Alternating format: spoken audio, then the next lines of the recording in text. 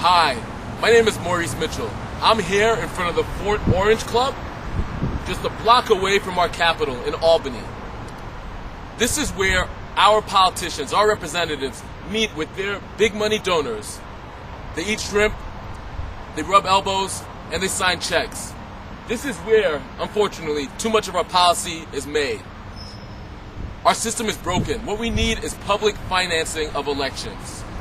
And we just have six weeks to make that happen.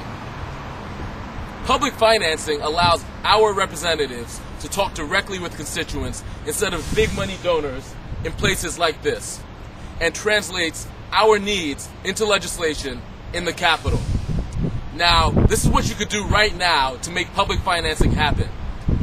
Log on to www.votersnotdonors slash tell Albany.